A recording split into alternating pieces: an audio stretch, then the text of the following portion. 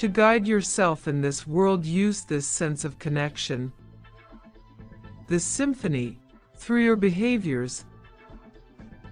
Look at everything through this frequency of equality, and you will observe this unified dance of light, braided in all things, collaborating gently with you, so that your sovereign entity will rise as one.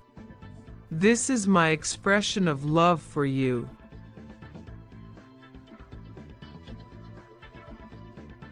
You are not this human instrument, you are the spirit who directs it. You decide how you should be, what to do, say, eat, etc. It is your thoughts that direct each act that your human instrument does. If you are happy or are sad, you feel fit or sick, you are hungry or thirsty, etc., is because you have decided it. You've decided what to listen to. When you hear the voice of the ego mind, all those decisions pass through the filter of fear because you believe you are a limited body. Being disconnected from the source, your thoughts are self destructive. Your unconscious guilt weighs on you, and adds to your conscious guilt for the non loving acts that you believe you have performed in your life. That is how your thoughts degrade your human instrument. When you hear my voice, all your decisions pass through the filter of the love that you are. You know who you are, and therefore you know you are not this body. Your will is my will, being who you truly are. You are connected to me. This means that you live in alignment with love, and love is joy, health, fullness. So you feel healthy and happy, and you are automatically healthy and happy. You don't need anything because you are already full of love. You know that is your light. You are in this instrument of exploration, and you give it only what the intelligence of your heart tells you. The shadow of fear has disappeared in you because you walk beside me.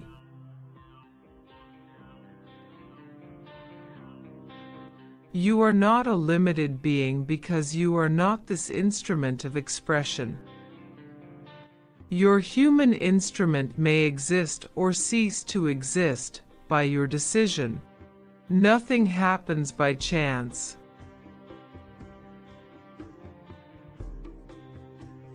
To get out of this deception, you have to understand that fear is part of the program. In your true nature, fear does not exist. What has trapped you is the guilt you experience by believing that you are the cause of all your ills because you decided to separate. Even if you are not aware of it, you are afraid of having done that act. And this fear is so great and deep that it prevents you from trusting yourself. You're afraid of what you believe you are, and therefore you reject it. The ego mind projects illusory images about your world of everything you reject about yourself. The goal is to prevent you from seeing your true reality and from remembering that you never separated. That is why every time the ego mind stokes that fear and that distrust, you don't feel it inside, but you perceive it in something external to you. Your dread is now hidden, it is unconscious. If you don't see it inside, you can't heal it because you think it's not yours. And you don't see it in you because you think everything else is different from you. Your distrust and fear do not allow you to live in constant peace. You think you can be attacked by something or by someone. You reject something you have judged as bad for you. But they are all projections of your thoughts of culpability. If you feel guilty, you attack.